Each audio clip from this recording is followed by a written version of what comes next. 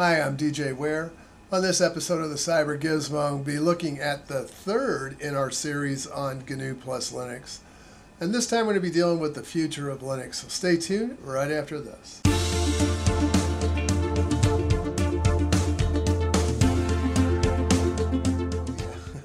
I thought, you know, I thought that after, in, in when I initially started this, we'd be talking about flying cars powered by Linux, and no, no, that's not what we're going to be talking about, unfortunately.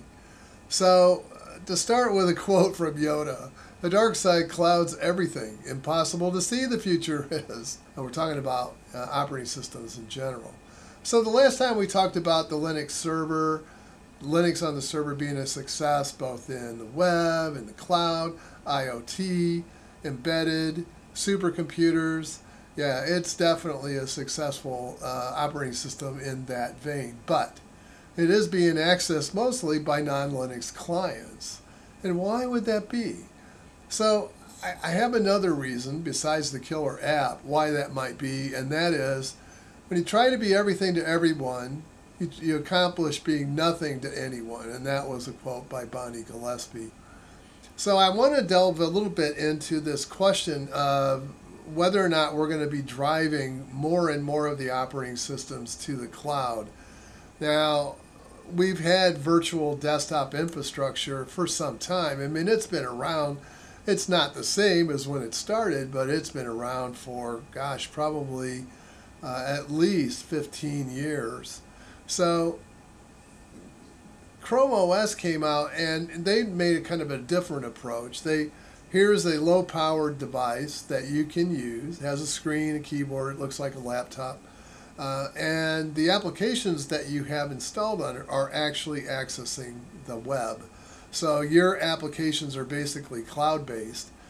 Uh, you can work offline somewhat, but they have limited amount of data storage. Windows has been working on Windows 365 Cloud PC for quite a number of years. I remember seeing it probably six years ago when they were first talking about it, and maybe it was earlier than that, but maybe that's the first time I heard of it. Uh, so, yeah, not a big Windows guy, as you probably know. Uh, but they uh, they went into GA, which is general availability of Windows 365 Cloud PC in August of 2021, where you could use any device to access Windows. And I don't mean that you're accessing your remote machine through the internet. This is different. What does this thing really do? So, in the early days, you had to log into your 365 Cloud PC from your Windows desktop, but not anymore now you can boot directly from your device into your session in Windows 365. I believe that is a preview still, but it was introduced uh, last December. So, uh, yeah, that is relatively new. I don't have any market data on how successful this has been because, quite frankly, I mean, it's pretty new. I don't, I mean, it hasn't been a year's worth of use yet. So, but what about, what about people that are on Macs, what's Apple doing about it? Well, not a lot, but we do have some movement in that direction. But the first thing we'll see is Amazon's AWS has had a Mac OS cloud for developers since December of 2020. Now, that really addressed the Intel Macs. They used, uh, I think it was Intel based Mac Minis, they racked them. And then if you wanted to have those available to you, you could rent space on it. Uh, they have expanded that in last December, and again, I think this is also a preview. So, um, and that was in December of 2021. Those are M1 Macs. So uh, it is powered, of course, by AWS Nitro systems. So that gives you access to a lot of other facilities within AWS Cloud, uh, besides just being able to do development work. A lot more things that you can do there. So there's there's also other companies that do Mac OS to the cloud. There's Mac Stadium. They've been around for a long time. Uh, they introduced Mac OS Cloud years ago, and they today they have both Intel and M1 Max. Now I'm sure they'll be they'll be offering M2 as soon as there is a server type device that's available. So what did Apple talk about at WWDC 2022? Well, they didn't mention it in their keynote speech, but it is on the it is it has been mentioned on the developer side. So, uh, in WWDC 2022, they announced Xcode Cloud. So, starting for about $15 for a 25 uh, compute hours per month, and it, of course it ratchets up, you can get more hours. Uh, it offers you an Xcode development environment that is cloud based. That is going to be free to all registered Apple developers till the end of 2023. After that, you'll you'll pay as you go for the service. So you don't have to have xCloud installed on your machine anymore. It also brings in a number of tools for the developer, but what about us? Well, so far to be able to access, you know, our normal devices, we don't we don't yet have it, but you can see that there is movement being made here. Also, in May of 2022, this year, uh, Apple has decommissioned their old cloud, the old Apple Cloud. That's no longer around. Uh, so they have migrated everything over to iCloud. So, what about Linux? Yes, there are Linux desktops in the cloud. Uh, Amazon has workspaces for Linux. Uh, it, they also support uh, the workspaces for Windows as well. So it offers basically a Linux virtual desktop infrastructure, a VDI. Uh, I don't know what options they have now. Amazon has their own version of Linux. I don't know if it's one of theirs or whether it's Ubuntu. I have never messed with that. I do know some people that work for Amazon, and maybe they can comment on on what the offering here actually has been. This has been around for a while. This is nothing new. There's also the cost. So, what's the cost to have your desktop in the cloud? Microsoft starts their uh, Windows 365 Cloud PC at $31 per user per month, and that can go up depending upon what your processor needs are, your memory needs are, and your disk storage needs are. Uh, yeah, so they have offerings in all of those spaces that will allow you to pick and choose uh, to what you want. So uh, also, Amazon's Mac OS uh, cloud starts at about a dollar an hour on Amazon, and uh, Amazon Linux starts at around $34 a month. That's an estimate based on what I saw. What do I think about the Linux desktop? Well, we've been saying for years. I mean, there's people every year they say, "Oh, this is the year for the Linux desktop," and everybody laughs, uh, and that's been going on for a long time. But if all of these other operating systems like Windows eventually migrate everything to the cloud, and Mac OS starts to migrate everything to the cloud, Linux could be very well be the last desktop standing, because we're not controlled by a corporate entity, at least not yet, and that makes it very difficult for somebody to mandate. Oh, you were you're going to take all these Linux distros up to the cloud. That, yeah, so it could make the year of the Linux desktop inevitable. It could happen just simply because there's nobody else there to occupy that space. Now, granted, the desktop market has been declining for Windows and Mac. Mac OS actually was going the other way for a while, but I think now they're probably declining again. So, so when do I think all of this might happen? Well, from what I've read, it could start as early as 2025, anywhere between 2025 and 2030. So somewhere in there, uh, yeah, it might happen. But uh, okay, so what about the Linux applications themselves? I mean, we we know that Snaps is here. I mean, that is definitely a viable container that people are using, not only on Ubuntu, but it's been adopted by most of the major distributions. Flatpak, same thing, also been adopted by most of the major distributions.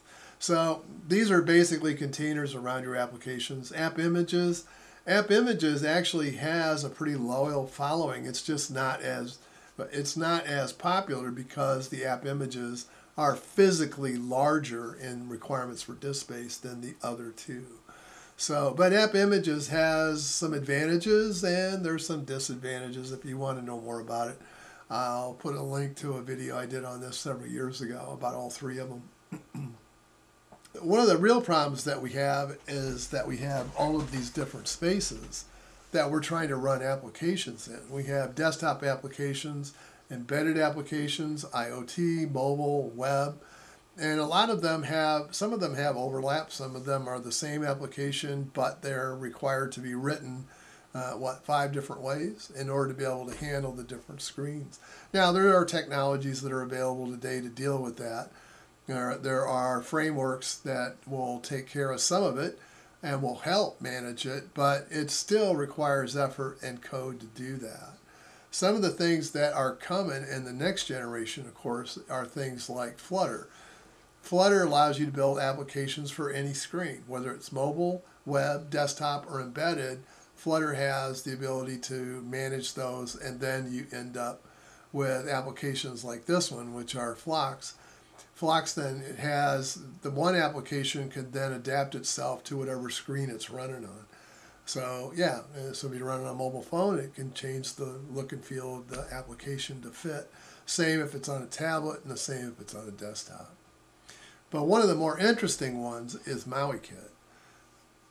Maui Kit builds applications for mobile and desktop, so that would be convergent, right? So I'm I'm able to build an app that runs on mobile and desktop at the same uh, you know the same app runs on both. It also offers cross-platform, so I can run that app on Android or iOS or Linux, Mac OS, or even Windows and it's based on KDE's and Kirigami. One of the OSs that, that is currently playing around with Maui, and they have a number of Maui applications, is Nitrux. And I plan to do a review of this shortly, but uh, the Nitrux OS is designed around Maui, and they even have, well, let's talk about it. So the first is the Maui Kit. The Maui Kit allows you to build applications built on the Maui uh, API. So you have uh, the ability to display this in a number of fashions, whether it's going to a desktop or a mobile phone or whatever. So it, they're trying to get, now I don't know if it, you would call it write once, run anywhere, because you still have constraints for the underlying machine language. But yeah, it's trying to be able to detect the, the display and then change itself dynamically. So they also have something called the Maui shell, and under my understanding is Nitrux has the ability to allow you to play with. Now this is a this this is still a prototype. This is not the Maui shell is not a production release, but this one allows you to manage your applications like you would on a tablet. So yeah, and and you have a number of ways of handling those. So it, it's kind of it's kind of bringing uh, kind of a more modern way of looking at things. I mean, I guess you could look at it this way. I mean, if you're running GNOME, GNOME is probably, I mean, for a new user, if you're looking at a new user, it's probably not the easiest for a new user to learn because it's not something they're used to, right?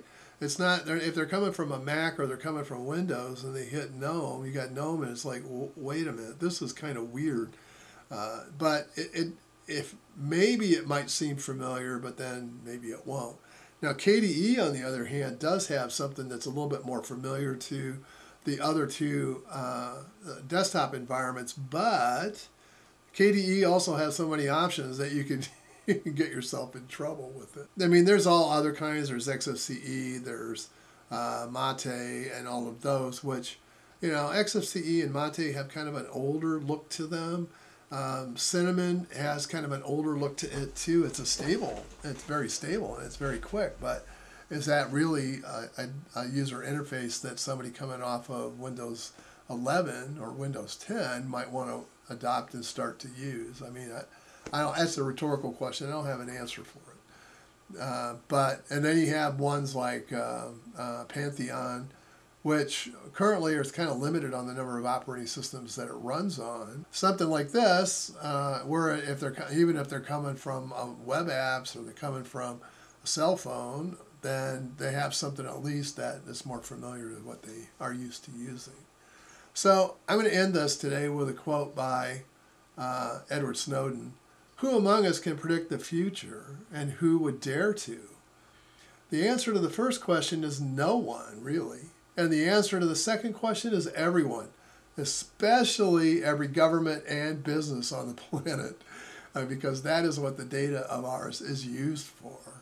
So, uh, and that that is a concern. I mean, if and I think, you know, there's cloud apps are, are great for simple tasks, but there are still some heavy lifter applications like video editing, uh, like uh, graphic arts design, 3D modeling. Even some application development can be heavier than a cloud app would be able to handle. Gaming is a heavier application than cloud apps can handle. Now, there's some that have been successful doing it, and there's some that have just been failures uh, because of the lag involved in it. So the desktop is still going to be necessary and it's still going to be needed because there's still these heavy until we can shed these heavyweight applications and do everything in the cloud. Yeah, I just I don't I don't see them going away, and maybe that's maybe that's just a maybe you guys have a different view, and I'd love to hear what you think about it. But uh, yeah, maybe it's just my view, and maybe it's just old eyes. But uh, yeah, I don't know. But I think I like what, what some of these things are doing, uh, like Flutter and, and uh, MauiKit. I'm going to kind of leave things there today. I hope you enjoyed this video on the third phase, the future of Linux. I think it's going to be interesting what happens. Um, uh, you know, I, I can't imagine that Linux would go to the cloud. I mean, there, uh, who would do it? Ubuntu? And who would follow? How many of people would follow? Would Red Hat and Fedora do it? I don't know. They might. Um, I mean, IBM is pretty big in the cloud. They they're definitely cloud is bre- as some bread and butter on their plate. They they do love the cloud, but they love the cloud for business applications and business services. I can't imagine that this would be totally different from them to take a desktop, a VDI application, and push it into their cloud. Hope you enjoyed this video today. If you did, please like and subscribe. Hope to see you all again real soon. Bye for now.